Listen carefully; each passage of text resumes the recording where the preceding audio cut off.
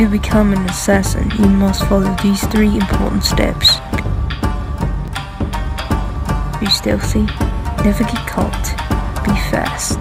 Those are the three important things to become an ultimate assassin.